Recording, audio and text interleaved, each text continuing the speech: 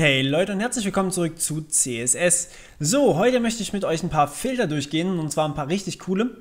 Ähm, die werden uns nämlich hier das Bild verändern, das ich mit Image, SRC, HTML, das kennt ihr alle schon, ähm, sieht dann folgendermaßen aus, ist einfach nur ein Bild auf der Seite, unten drunter kommt das, was wir davor gemacht hatten. Und ja, dieses Bild wollen wir jetzt verändern. Das können wir ganz easy machen, indem wir hier einfach unten drunter den Tag vom Bild verändern, Image und so. Und ja, jetzt haben wir hier ziemlich easy die Möglichkeit, Filter anzuwenden, nämlich indem wir einfach sagen, Filter, ups, Filter, Doppelpunkt. Und hier können wir dann hinten dran eine gewisse Filteroption anwenden und die möchte ich euch heute gerne zeigen. Und zwar, wenn wir hier sagen Blur ähm, und dann eine gewisse Anzahl an Pixeln hinten dran, zum Beispiel 10 Pixel, dann verschmiert das Bild. Das sind solche grundsätzlichen Bildbearbeitungsoptionen, die ihr habt, ähm, ja, die man aber nicht unbedingt häufig braucht, aber ich möchte sie euch trotzdem nicht vorenthalten. Warum wir jetzt hier nicht sehen, ist, ähm, weil wir hier nur Filter benutzt haben und nicht WebKit noch vorne dran geschrieben haben.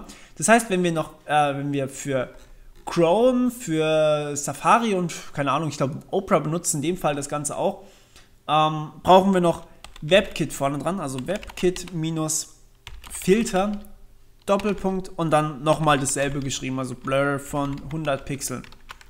Und natürlich ein Semikolon unten drunter. So, was wir jetzt bekommen ist, wir kriegen ein ziemlich verschmiertes Bild. Ähm, das heißt, für unseren Browser hier, also Chrome, aktuelle Version sogar, brauchte dieses WebKit vorne dran. Hier haben wir mal wieder das Problem mit den alten Browsern. Ich glaube, ihr kennt das. Aber ähm, wir machen jetzt hier einfach mal 10 Pixel, damit man auch noch ein bisschen was erkennen kann. So ist es ein bisschen hart gewesen. So, so ist es einfach stark verschmiert. Ähm, genau das, was ein Blur-Effekt normalerweise tut. Okay, ähm, ihr könnt auch die Helligkeit regeln, also indem ihr sagt Brightness. Ich mache das einfach mal nur noch hier mit dem WebKit, weil ja oben dran brauche ich euch eh nicht zeigen, braucht man aber trotzdem. Also einfach mal beides wieder angeben, hier oben die Filter ändern und hier unten die Filter ändern, wenn ihr irgendwas machen wollt. Je nachdem, welchen Browser. Ähm, genau. Okay. Ähm, Brightness macht folgendes. Hier brauchen wir wieder Prozentzahlen von 0% bis 100%. Und ähm, das Ganze macht natürlich die Helligkeit ein bisschen anders. Das heißt, wenn ich hier 0% reinpacke, dann sieht das Ganze so aus, wird nämlich ein schwarzes Bild dann einfach. Während wenn ich jetzt 100% hier eingebe, dann sieht es so aus. Also volle Kanone wieder, volle Helligkeit. Ähm, so, und jetzt haben wir hier die Möglichkeit, sogar Werte über 100% reinzupacken, zum Beispiel 200%. Dann kriegen wir die Helligkeit angepasst und zwar heller, logischerweise, also doppelt so hell. Ähm, was darin resultiert, dass das ganze Bild ein bisschen weißer wird. Aber ja, damit könnt ihr gut rumspielen und ein bisschen verbessern das Ganze. Vielleicht auch noch den Kontrast. Also eigentlich sollten die Bilder so gut sein, dass ihr das nicht braucht. Aber der Kontrast, der regelt natürlich noch den Kontrast des Bildes. Hier werden die Farben einfach stärker. Also das HTML wird roter. Davor war es eher so ein Orange. Ich zeige es euch gerade nochmal, wie es mit 100% aussieht. 100 ist mal wieder genau 1, also Standard. So sah es normalerweise aus. Ähm, mit 200% kommt uns das Ganze vor, als wäre hier ein Grauschleier drauf gewesen. Und jetzt haben wir erstmal knallige Farben. Bei 0 haben wir natürlich wieder mal einfach ein komplett graues Bild, weil Kontrast 0 bedeutet einfach, dass wir keinerlei Farben mehr drin haben. Okay. Ähm, so, jetzt wahrscheinlich das, was für euch am interessantesten wird, und zwar der Drop Shadow. Drop Shadow ähm, wirft einen Schlagschatten des Bildes. Drop minus Shadow. Und jetzt haben wir hier die Möglichkeiten, Sachen anzugeben, wie der Schlagschatten ausfallen soll. Und zwar haben wir hier zum Beispiel Haarshadow. Das gucken wir uns einfach mal direkt an, wie das aussieht. Ähm, also äh, Haarshadow, ja. Haarshadow vielleicht auch noch einen Wert dafür angeben. Ähm, beim Haarshadow müssen wir einfach angeben, wie viele Pixel wir horizontal, äh, horizontal verschieben wollen. Das ist quasi das, was wir hier bei dem Box Shadow auch schon gemacht haben. Also wie viele Pixel wollen wir den horizontalen Schatten verschieben. 50 Pixel zum Beispiel. Ähm, und dann brauchen wir noch einen vertikalen Schatten, also V-Shadow. Und das ist auch das, was wir hier schon haben, zum Beispiel 10 Pixel. Wie viel soll er in der vertikalen verschoben werden? Okay, schauen wir uns das Ganze mal an. Jetzt haben wir hier dieses Dings hier rumfahren. Und das geht natürlich hier drüber. Und was wir jetzt noch brauchen, ist, wie hier oben auch, vielleicht noch eine andere Farbe und ein Blur-Effekt. Also sagen wir mh, hm, einfach mal Blur von 10 Pixeln. Ups.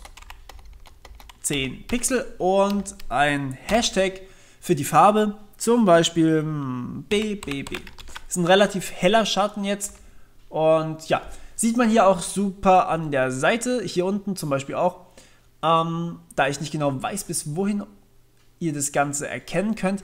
Hier unten, ich mache es einfach mal kleiner, wie wäre es? Oder ich schiebe es rüber. Ähm, hier sehen wir an der Seite, dass es ein wenig hier an der Seite ausgeblurrt wird, wie bei dem ähm, Box Shadow hier oben auch schon. Ähm, ja, und die Farbe hat sich auch verändert. Je nachdem, was wir hier eben angeben, wird es heller oder dunkler. Die Farben kennt ihr mittlerweile, glaube ich, aber ganz gut. Okay, so.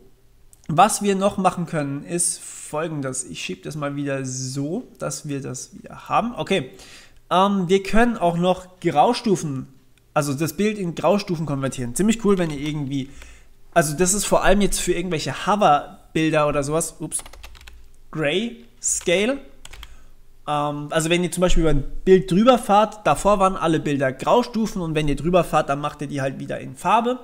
Ja, ähm, ihr habt hier allerdings auch eine Funktion wieder dann und müsst angeben, ob ihr 100% haben wollt, das wäre dann logischerweise äh, komplett Graustufe, also komplett grau sowieso.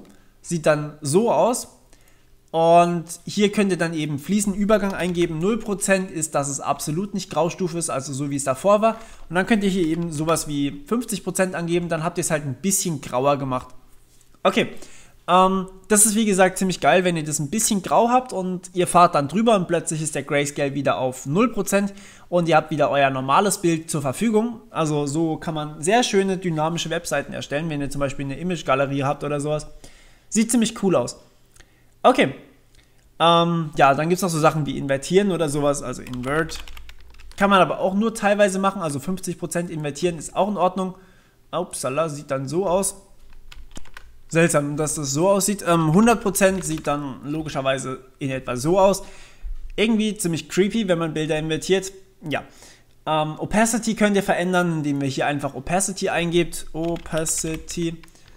Ähm, dadurch könnt ihr dann die Durchsichtigkeit der Bilder steuern. 100% macht es komplett sichtbar, 0% macht es komplett durchsichtig. Ähm, genau. Und jetzt noch ein letztes. Mit Sepia könnt ihr steuern, wie dieses Bild aussehen soll. Also Sepia kennt ihr vielleicht dieses komische gelbliche Effektteil. Ja, ziemlich cool eigentlich. Man kann relativ viel damit machen. Das ist, wie gesagt, vor allem, wenn man irgendwie über die Bilder drüber fährt, ziemlich interessant. Dann kann man nämlich Bilder hervorheben, wenn man über sie drüber fährt und ansonsten werden sie halt irgendwie ausgegraut oder leicht gräulicher dargestellt oder sowas. Genau. Wollte ich euch zeigen, unbedingt. Ähm, und ja, ich hoffe, es hat euch mal wieder gefallen. Ich weiß, das war jetzt nicht ganz so das Interessanteste, aber trotzdem kann man es brauchen. Und deswegen alles klar. Dann bis zum nächsten Mal. Wir hören uns. Ciao, ciao.